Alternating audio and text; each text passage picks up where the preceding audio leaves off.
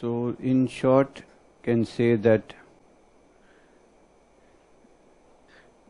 I find that success in our prescribing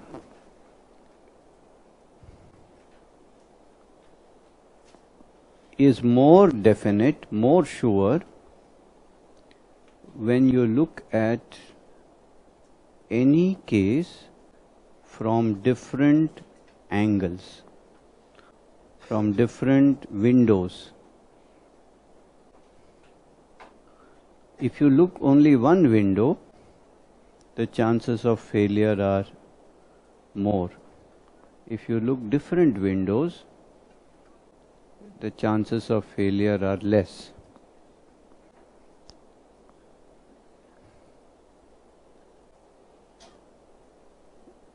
This is what I understood.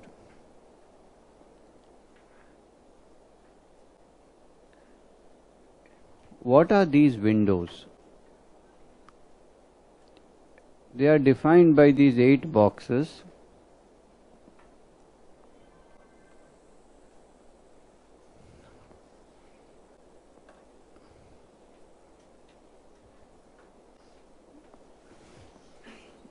That means what is the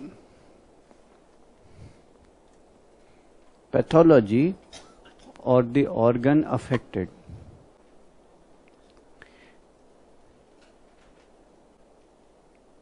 Then what are the local symptoms, especially what is the location, sensation, modality and concomitant and what is peculiar, queer, rare and strange, what is individual.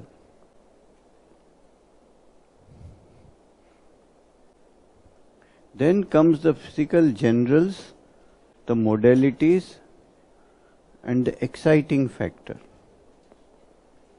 This exciting factor is the main modality or the main sensitivity of the individual. That's why he got the problem. Because this thing affected him the most. Then comes the mental symptoms, the observation of the physician or the people around the patient and the effect of the chief complaint on the patient, which means the area of maximum sensitivity again. Where does it affect you? It must affect you where you are the most sensitive. Now this on the top in the blue we can call is the left brain data. That means more at the level of fact and figures like this. Below is the right brain data. That means more at the level of emotions, concepts, perceptions, sensations, the main idea or the concept. So this is a broader view of it. This is a particular, these are the trees, this is the forest. That's why we divide into upper and lower part. So in the right brain area, which is to do with more of perception rather than of data, of fact, then you have the dreams, fears, delusions, and the life situation of the patient. The life situation is also a kind of a delusion that everybody creates for himself. That I am a responsible man, I am a victim, I am a this, I am a that. So this situation that you create is also your delusion. So what situation has this individual created for himself in his life? That is also his delusion. Then comes the sensation or the experience. What is his innermost experience? And when you come to that experience, you, you will often find the data of the kingdom. That means this experience, is it an experience of structure, sensitivity or survival?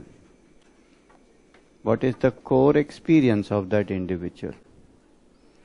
And when you explore the kingdom more, you will come to the data of the source. What are the source language that he uses? Mm-hmm. Then, next is the miasm or the pace of the disease. Is it a very desperate situation? Is it a very solvable situation? Is it an acute situation? Is it a hectic situation? Is it a chaotic situation? What does he feel? And this miasm or pace is expressed in all the areas of the patient's life. It is expressed in the pathology, in the complaint, in his mind state, in his situation, in his dream. Everywhere this miasm is expressed. And the last is the genius or the pattern. That means what is the connecting thread between all of these boxes? What is the thread? That thread is the genius or the pattern. What is the main idea? What is the essence? what is the melody, what is the tune in which all these different songs are being played. That is the genius or the pattern. So, in this way, when we look at the case through all of these windows, our chance of going wrong becomes less. It is still there, but less.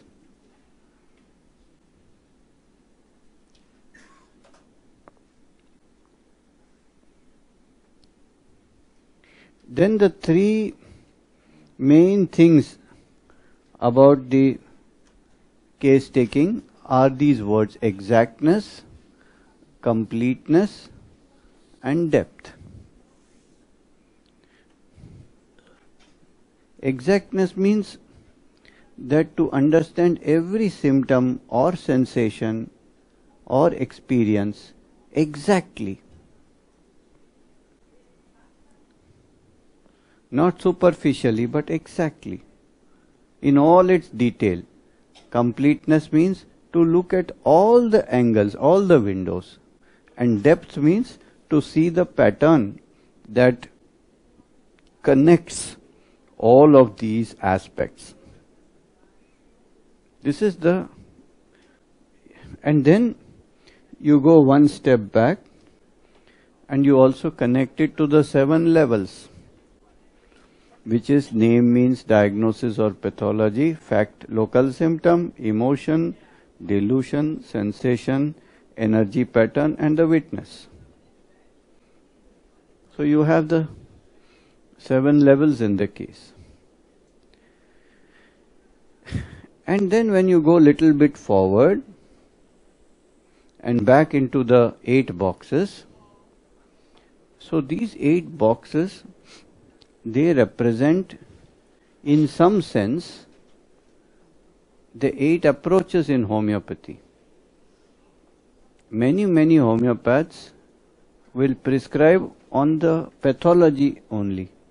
Many books have been written about it. For example, best known is Burnett. Burnett used to prescribe mainly on pathology. If you had ringworm, you got Bacillinum straight away. If you had gout, you got urtica urens. If you had a liver tumor, you had Carduus marianus. So he used to have a pathological prescribing. Some people prescribe on the local symptoms using the repertory. And some people prescribe on general modalities and causation. You got ailment from vaccination, I will give you thuja. Something like that. You got ailment from grief, I will give you ignatia. Some people prescribe on mental symptoms alone. Says, I will only use mind symptoms. There's a whole school of homeopathy which says only my, mental symptoms. Okay? Some people, then what? Uh, this was the state of the homeopathy when I started. These were the four boxes. There was this, this, this or this or some combination. That was in a year 1981 when I started the practice of homeopathy. And my evolution started here. Because I said there are two sides of the brain. Why we are using only one side? Why not we should use our right side also? And you know very well that homeopathy started in Germany. In Germany, people only have the left side of the brain. They are very particular. This is how it is, exactly like this, exactly. If you go to Germany, you will know what I mean. Everything is exact. You know. Or you don't know. Once I went in one German spa. You know, it is this big thermal pool, heated water, you know, all this natural water. You know this one? So I went there for relaxation. When I got the ticket, they gave me one program. Pool number one, six minutes. Relax, four minutes. Pool number two, nine minutes. Relax, three minutes. And there was a whole map of how to go here, here, here, here, here, and out. So this was like this. This is their relaxation. So you can imagine what their occupation is like. So I'm just joking, of course. But there's a strong, in the West, a strong left-sided focus. In the East, we don't have the left side at all. it is absent from the beginning. When you go to the train station, you say, What time the train will come? maybe it comes, maybe it doesn't. Just meditate.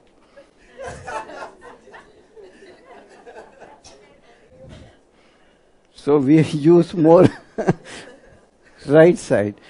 So I brought into homeopathy a right-sided thinking.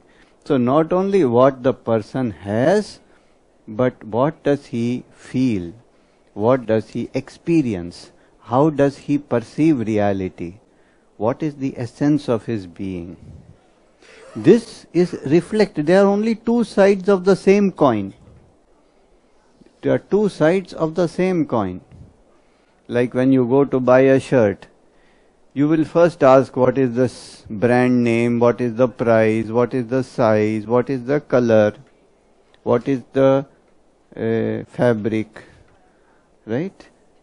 But then you will also look, you wear it, how does it feel? How does it make you perceive yourself? Huh? How does it feel on your skin? How does it overall experience? So when these two things match, then you will buy the shirt. The same idea with homeopathic case taking. The facts also have to match and the perception also has to match. But they are only two sides of the same coin as we will see in this case also. So from that I came to the idea of delusion. That the mental symptom, when people stopped here at mental symptom, for example, Tarantula means music, dancing, and rhythm, cunning, colors, like this. this is mental symptoms. So I said, where does this come from? Then I said, it comes from perception or delusion. The main theme of Tarantula is that she does not get attention. The perception is Nobody is giving me attention. Especially a kind of a attractiveness, especially sexual, uh, male, female. So when you don't get that attention, then you become cunning and you become overactive and you become colorful and you start to dance and go to the discotheque and loud music and all of these things. And you can feign, you know, you pretend so you can get more attention. So this is the perception. And then from this perception, I understood remedies much deeper than the symptoms. I understood the meaning of those symptoms over here. For example, if you see Phatak, oh, you know, what is the main ailments from of tarantula? When you look here,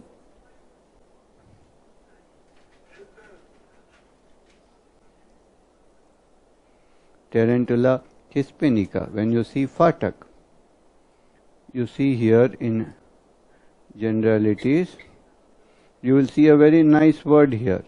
It is given ill effects of unrequited love. What means unrequited? Unrequited means not reciprocated. Means you are in love but the other person does not feel attracted towards you. So when that situation happens, that is when you need attention.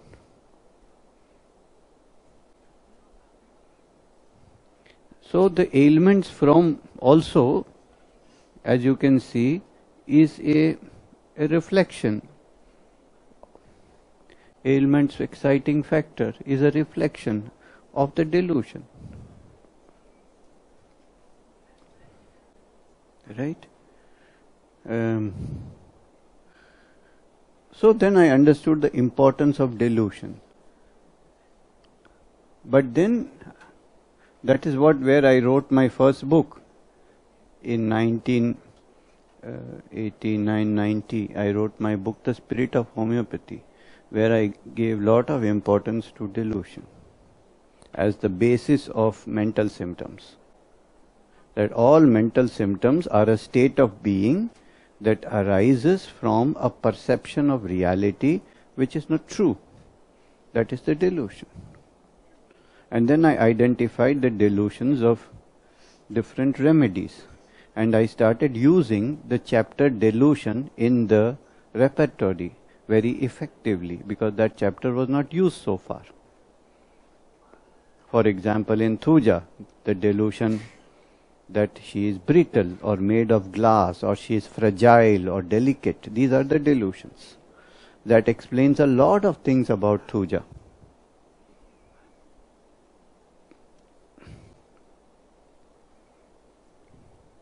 And uh, you can observe this very often in Thuja patients when they say, you know, doctor, see, uh, please do anything, but don't give me strong medicine because, you know, my system cannot take strong medicine. Other people's system can take, but my system cannot take. Whenever I take slightly strong medicine, my whole system breaks down. So how they will explain you that they are so fragile, so delicate.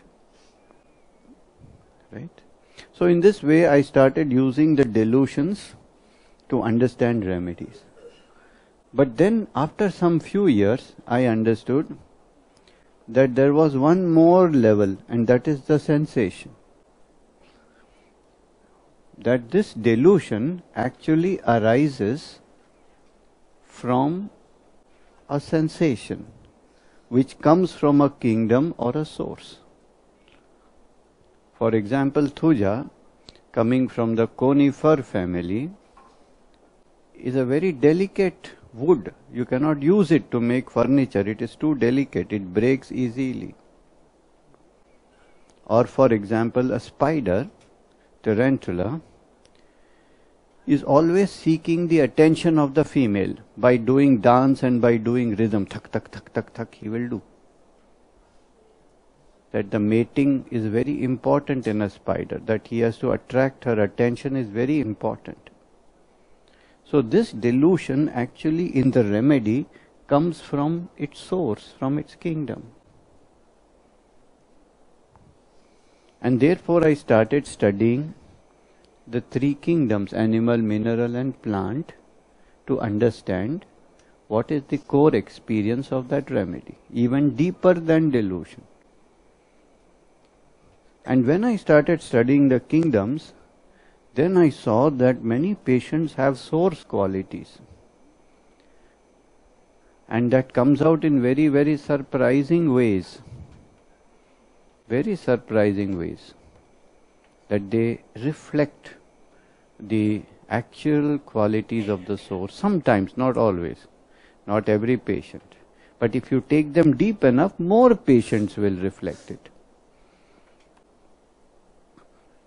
I remember one um, case. Um, she was a woman, and uh,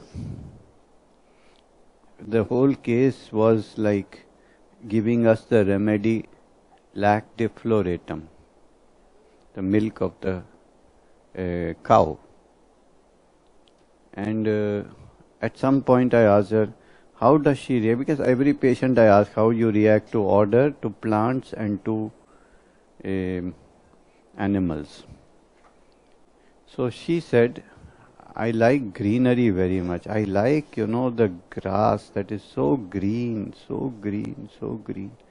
And then I asked her, tell me what, what do you feel when you this? And then she, how she shifted, I don't know. But the very next sentence, and you know, doctor, I forgot to tell you, I like to munch. Oh. All the time, every time I want something in my mouth and I just go awa, awa, awa, awa, awa. So she was talking actually about grass. And suddenly she said, I forgot to tell you that I like to munch and munch. It was so funny. All the time, doctor. So why she said like this? How did this association come in her head? So like this you see so many times, it's quite remarkable when you hear that language. So anyway, I found that from the source, the kingdom sensation, comes the delusion, which causes mental symptoms and exciting factor, and this whole energy manifests as local symptoms and pathology. So it's just the other way around.